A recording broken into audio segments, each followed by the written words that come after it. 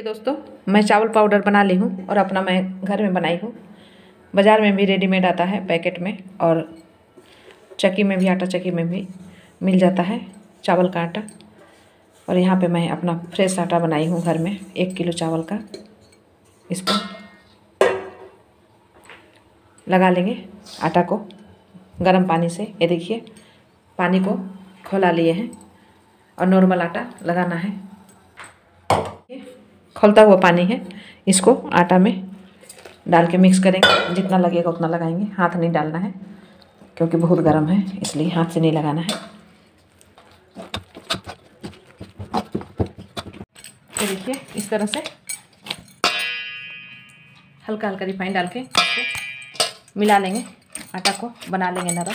जो चना दल डाली थी, वो पीस के मैं रख ली हूँ। इसमें बाकी का लहसुन का पत्ता है, बारीक काट ली हूँ।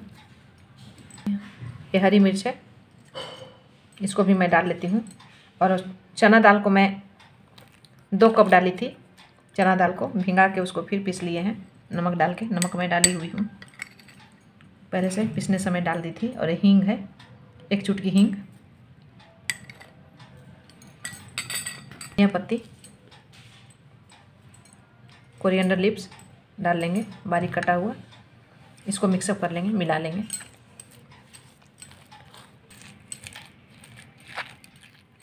और इसको काट लेंगे।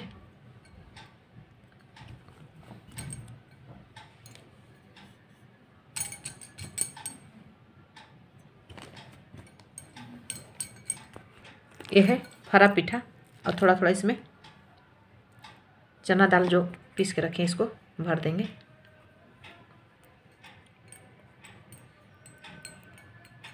इस तरह से बंद कर लेंगे। और जो नहीं बंद होगा उसको बीच में छोड़ देंगे। ये देखिए, इस तरह से।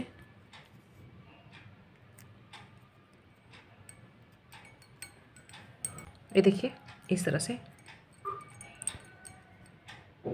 दो तरफ़ से दबा लेंगे और बीच में छोड़ देंगे इस तरह से।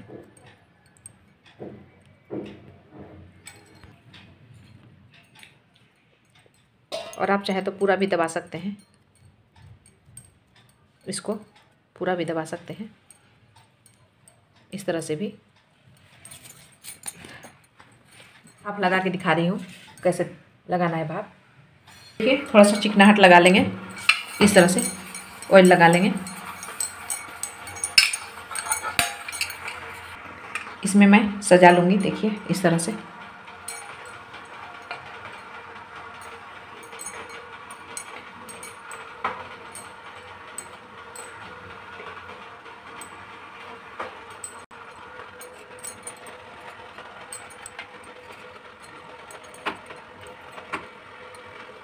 पाँच से सात मिनट इसको भी पकाएँगे। भाप में। हरा पीठा बहुत ही स्वादिष्ट, खाने में बहुत ही टेस्टी लगेगा, और आप भी ट्राई करें।